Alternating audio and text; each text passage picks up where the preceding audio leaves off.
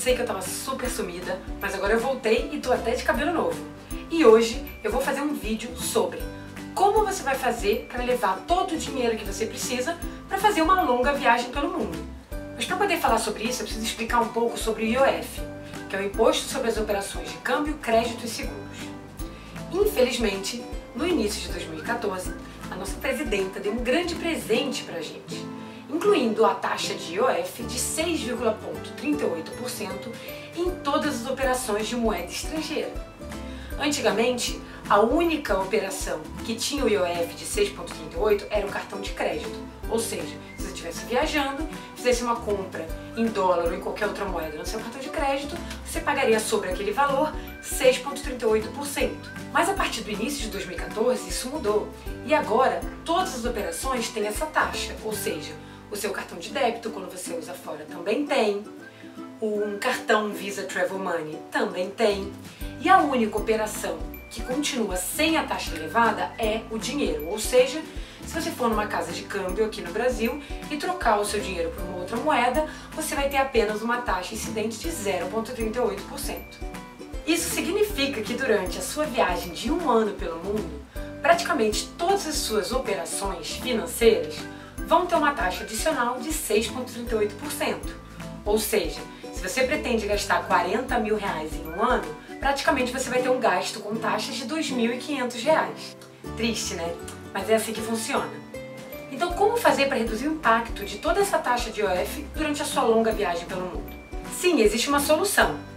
Aí você vai pensar, ah, vou levar em dinheiro, assim eu troco na casa de câmbio e eu só pago 0,38%. Só que eu queria te lembrar que você não está viajando de férias. Você não está viajando por 20 dias para colocar todo o seu dinheiro dentro daquele bolsinho que vai na cintura, escondido, para ficar carregando aquilo durante um ano. Com certeza vai ser um estresse contínuo na sua viagem e eu jamais recomendaria uma pessoa viajar com todo esse dinheiro. A opção mais segura para você conseguir fugir do IOF seria abrindo uma conta no exterior. Quando você abre uma conta fora do Brasil, você pode fazer uma transferência internacional da sua conta aqui para a sua conta fora. E quando você faz isso, a taxa de IOF que incide ela é só de 0,38%. Isso significaria uma economia de 6% em taxas. Mas essa opção ela não é simples para todo mundo.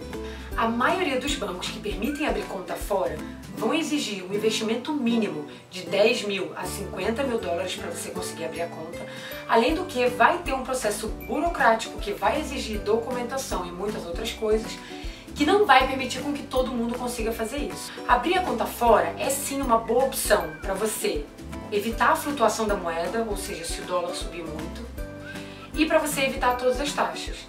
Mas você vai ter que entender se o seu perfil financeiro vai se enquadrar nas exigências que eles fazem.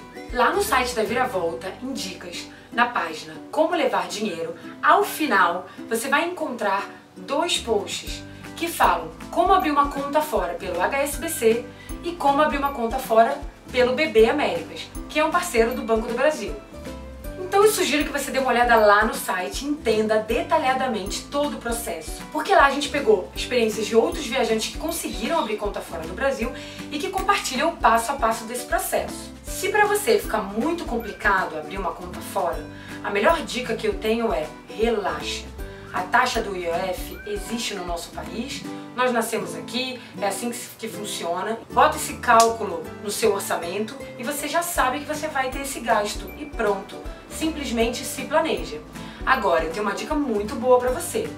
Se você economizou toda uma grana para sua viagem, você não vai usar essa grana de uma vez só.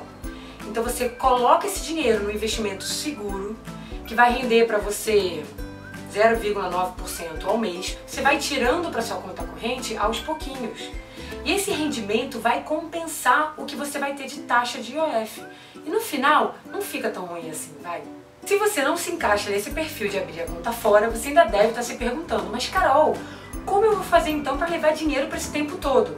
Calma, não se preocupa, é muito mais simples do que você imagina. Aliás, bem mais simples do que abrir uma conta fora. Mas eu vou deixar para explicar isso no próximo vídeo. Se você tem alguma dúvida, deixa aqui no comentário, se inscreve no canal e assim você não perde nenhuma dica. Tchau!